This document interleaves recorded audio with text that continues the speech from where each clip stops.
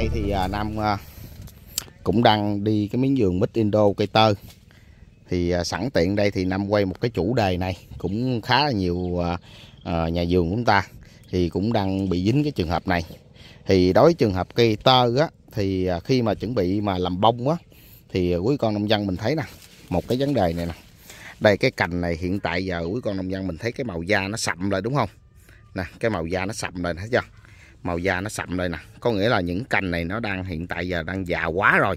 Thì nó tạo được cái lượng mầm rồi. Đây những cành này nó sậm xuống nè. Còn đây những cành này nè. Thấy màu da nó còn mơn mởn luôn thấy chưa nó có nghĩa là nó không có chưa gọi là chuyển được lại cái lượng mầm. Đó, chuyển lại nó già cành á là nó chưa có tạo được cái lượng mầm á. Đối trường hợp những cái cành này nè nó khó ra bông. Nó khó ra bông cho quý bà con nhà vườn chúng ta. Bởi vì ra là thường năm nói là làm sao chúng ta phải làm cho cái cành của chúng ta nó phải già quá đi. Già quá, nó sậm màu lại như thế này, thì cái tỷ lệ, cái cây của chúng ta, nó sẽ ra bông rất là đạt. Còn đối với trường hợp những cây tơ mà chúng ta năm đầu tiên chúng ta để trái đó, thường hay bị gọi là tình trạng là bị ra bông phướng hay là bông gió rất là nhiều. Tỷ lệ bông thật là rất là ít luôn. Ít xỉu à. Tại vì sao? Tại vì những cành của chúng ta chưa làm già quá đi, thì những cành đó nó chưa tạo được cái lượng mầm thì cây của chúng ta khi mà chúng ta làm bông đó tỷ lệ ra bông gió bông phướng rất là nhiều. Đặc biệt như chẳng hạn vườn này quý con nông dân mình thấy là hầu như những cái cành nó đang gọi là chuyển mình lại già quá trơn rồi nè. Nó già nó sậm lại trơn rồi. Thì giai đoạn chuẩn bị tới đây mình kích mầm á, thì nó rất là dễ. Nó làm bông thì nó đạt hiệu quả cao hơn. Nè. Cành nè nó sậm màu hết trơn nè. Nó sậm xuống hết trơn nè thấy chưa? Còn những cành mà thường thường là à, như chẳng hạn cây tơ này phải không? Một số nhà vườn năm thấy á, là cái màu nó không có sậm nó còn đi sinh trưởng.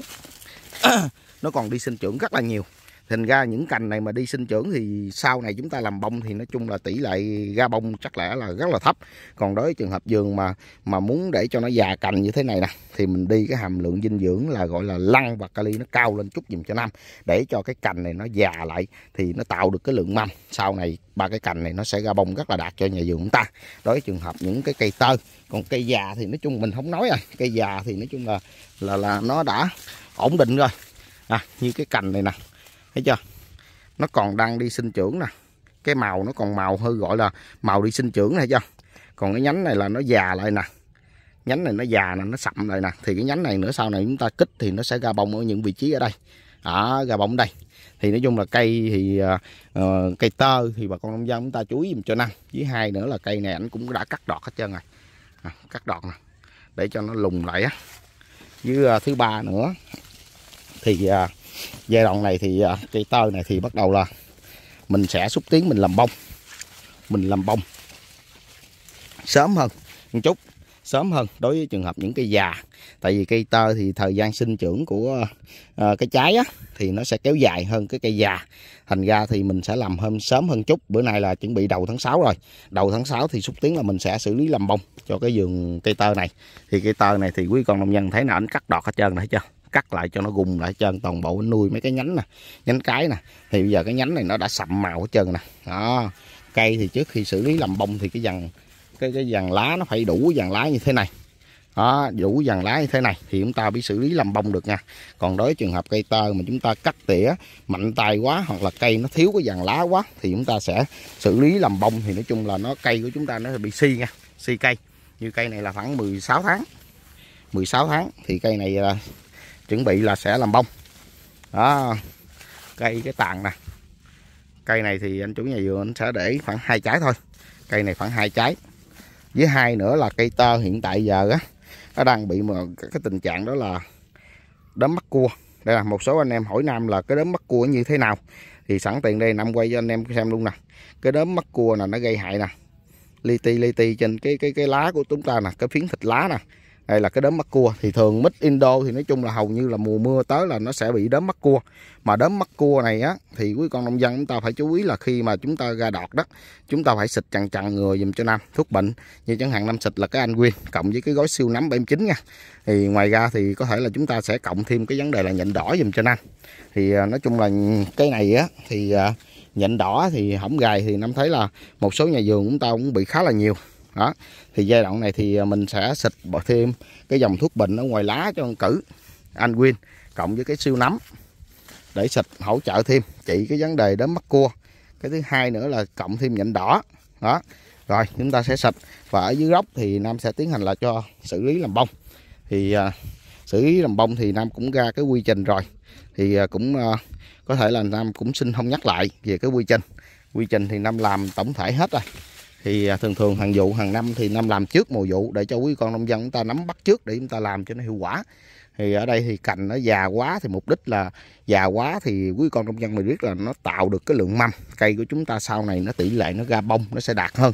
Còn cây mà cây tơ hổng gài nam thấy là một số nhà vườn á chụp cho nam là cái cây tơ đó, non trong luôn. Cây khoảng 13 14 tháng hỏi nam là có làm bông được hay không? Thì nam xin thưa là những cây đó là nó chưa có còn Ừ, gọi là đang đi cái giai đoạn sinh trưởng rất là nhiều, rất là mạnh luôn. Thành ra là chúng ta làm bông nó rất là khó. Như cây này đang bị đốm mắt cua khá là nhiều. Nè, đốm mắt cua nè, nó làm cho cái lá của chúng ta nó mất đi cái dịp lục tố của cái lá. Cái lá của chúng ta nó sẽ chuyển lại hơi cái màu ngà ngà ngà. Đây, đốm mắt cua đây là đốm mắt cua nha, chứ không phải là bị nhện đỏ nha. Quý con nông dân chúng ta chú ý dùm cho nam. Cái đốm mắt cua là nó sẽ gây hại, là đó có những cái màu chấm ở chính giữa, màu nâu màu nâu. Và cái đường viền của nó nó chạy cái đường viền sẽ là cái màu vàng. Cái màu vàng, đó là cái đốm mắt cua còn cái nhện đỏ gây hại là khác nữa. Quý con nông dân mình phải phân biệt dùm cho nam để mình lấy cái sản phẩm để mình xài cho nó hiệu quả. À, nhện đỏ thường á thì nó gây hại vào cái tháng mùa nắng nóng. Với hai nữa là mít indo này á thì nói chung là nhện đỏ nó cũng có vào tháng mùa mưa nhưng mà tỷ lệ nó vẫn ít thôi chứ không nhiều. Nhưng mà để mà nó gây hại như thế này á thì cây của chúng ta nó sẽ chuyển lại cái thành màu vàng. Ngà ngà ngà ngà cây của cho chúng ta đi sinh trưởng nó rất là gọi là yếu với hai nữa cái dàn lá này nó cũng không có được bự để nó nuôi được cái lượng trái bông của chúng ta. Bởi vì ra chúng ta phải chú ý dùm cho nam về cái vấn đề là là đốm bắt cua vào cái tháng mùa mưa. Chúng ta xịt định kỳ dùm cho nam có thể là 10 ngày hoặc 12 ngày chúng ta xịt một lần để ờ, nó diệt đi những cái nấm làm đừng có làm cho cái cái, bộ lá của chúng ta nó bị suy kiệt đi. Thì dẫn đến là cây chúng ta nó sẽ có bộ lá đầy đủ. Thì khi mà chúng ta làm bông này nọ thì nó cây chúng ta đủ lá thì nó sẽ mang trái ok hơn. Ừ. Cái da nè cái da nè quý con nông dân thấy nè yêu cầu mà nó chuyển màu lại màu sậm sậm sậm, sậm lại á, thì cây của chúng ta nó sẽ dễ làm bông. Còn đối trường hợp đây nè những cái nhánh phía trên này nha những cái nhánh phía trên này cái màu nó sậm màu nó còn sáng tươi xanh luôn nè.